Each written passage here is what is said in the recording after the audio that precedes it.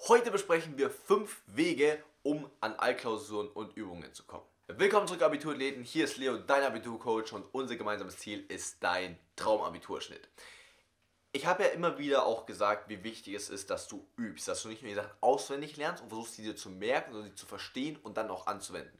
Und genau dafür ist es ja so wichtig, dass du einfach Übungsklausuren hast, dass du einfach weißt, okay, was haben die in den letzten Jahren gemacht, um da wirklich auch möglichst effizient Wege zu finden, um an sowas ranzukommen, gebe ich dir heute fünf Tipps mit oder fünf Wege.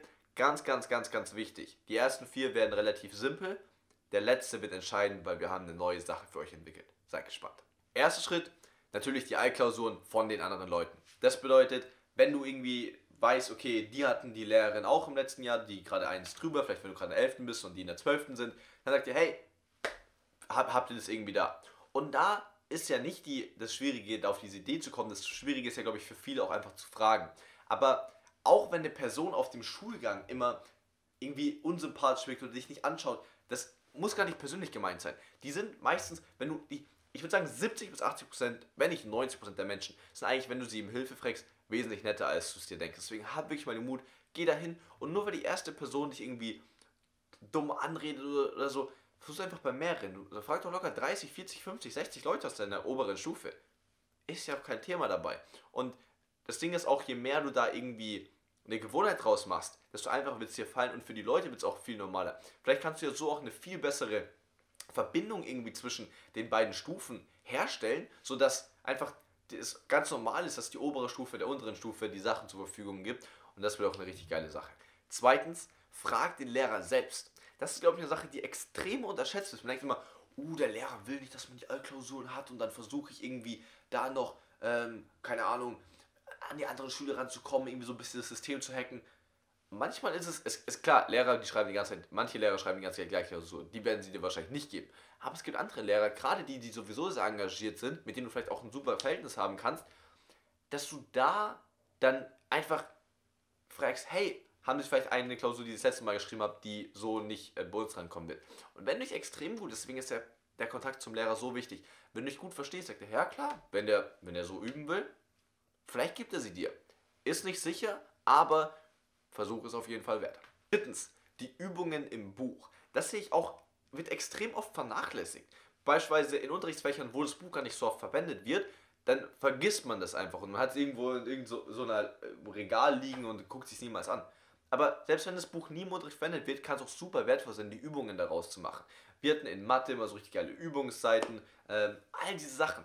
Nutzt das, nutzt das, nutzt das. Vor allem im Buch ist es auch oft mal nochmal auf verschiedenen Schwierigkeitsebenen nochmal ein bisschen anders, als der Lehrer es macht. Das heißt, selbst wenn die Hausaufgaben oder die andere Übungsblätter, die der Lehrer dir ohnehin schon ausgeteilt hat, wenn du es nochmal im Buch auch machst, ist es alles nochmal auf eine andere Art und Weise. Das heißt, du wirst nochmal richtig gechallenged, den Stoff noch besser zu verstehen. Viertens, Internet oder selbst. Das bedeutet, du kannst natürlich dir selbst Sachen stellen, du kannst ähm, auch ein, ist auch super wertvoll, man sich selbst, ist so wertvoll. Überleg dir mal selbst Aufgaben. Du musst nicht mal bearbeiten, aber einfach nur mal in den Kopf des Lehrers reinzuschauen. Super wertvoll. Du kannst dich auch in Lerngruppen anderen Leuten was stellen und sie stellen dir Sachen. Oder du suchst natürlich im Internet danach. Alles geile Möglichkeiten. Such, ich glaube, das Allerwichtigste ist einfach nur, findet einen Weg. Habt nicht die ganze Zeit diese, diese Ausrede von, oh, ich kann doch nichts finden, da, da, da findet einen Weg und ihr werdet fündig werden. So, und jetzt die richtig, richtig, richtig, richtig geile Ankündigung. Und zwar haben wir nur für euch, für die Abiturathleten, eine App entwickelt, die genau dieses Problem löst. Die App heißt Exam Share. Ich weiß nicht, ob ihr das sehen könnt. Jetzt könnt ihr es sehen. Jetzt könnt ihr es sehen. So sieht die App aus. Was ihr nämlich bei Examshare machen könnt, ist mega geil. Ihr habt einfach nur ganz simple Kategorien, hier Sprachen, Naturwissenschaften, Gesellschaftswissenschaften, ähm, sonstiges. Das sind die vier Kategorien. Super einfach. Hast du bei Sprachen Deutsch, Englisch, Französisch, Naturwissenschaften, Mathe, Physik, Bio und so weiter. Super simpel. Und dann kannst du beispielsweise einfach auf Physik klicken und dann können da andere Leute und vor allem du natürlich eure Klausuren, die ihr rausbekommen habt, hochladen. Zusammenfassungen, whatever die werden dann von, die können dann alle nutzen und werden von Leuten bewertet und je nach Bewertung ist dann eben die beste Klausur zum jeweiligen Fach ganz weit oben. Deswegen habe ich jetzt eine ganz, ganz große Bitte an euch. ladet euch bitte Examshare runter. Das hat äh, Jonas bei uns aus dem Team nur für euch entwickelt. Die App ist zu 100% kostenlos, kennt sonst auch noch niemand. Das heißt, es ist wirklich nur für euch. In unserem geliebten orangenen Design. Ähm, wenn ihr euch ein Profil erstellt, was ihr unbedingt machen solltet, steht hier meine Rolle, Abitur-Date. Also es ist wirklich nur für euch.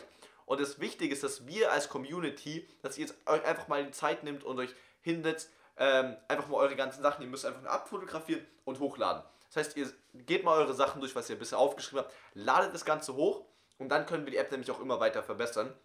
Und du kannst natürlich vor allem dann auch alles andere nutzen, was die anderen ähm, hochgeladen haben. Da ist aber halt einfach nur wichtig, dass du eben nicht nur nimmst, sondern auch gibst. Das heißt, nimm dir die Zeit, lad alle Sachen hoch, die du sinnvoll als zur Verfügung stellen kannst und dann kannst du durchschauen, was die anderen alle auch für dich hochgeladen haben. Und das ist mega, mega geil. Wie gesagt, die App ähm, ist quasi Teil von uns. Das heißt, wir können sie immer weiter mit eurem Feedback entwickeln. Schreibt mir die gerne auch in die Kommentare. Schreibt mir es bei Instagram.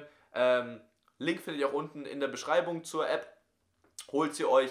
Ähm, und ähm, ja, mega, mega geil. Ich bin sehr happy. Wir haben einfach eine eigene Abiturdaten-App. Wie geil ist das denn bitte? In diesem Sinne, denkt dran. Ich glaube immer nicht. Wir beide hören uns im nächsten Video. Dein Leo.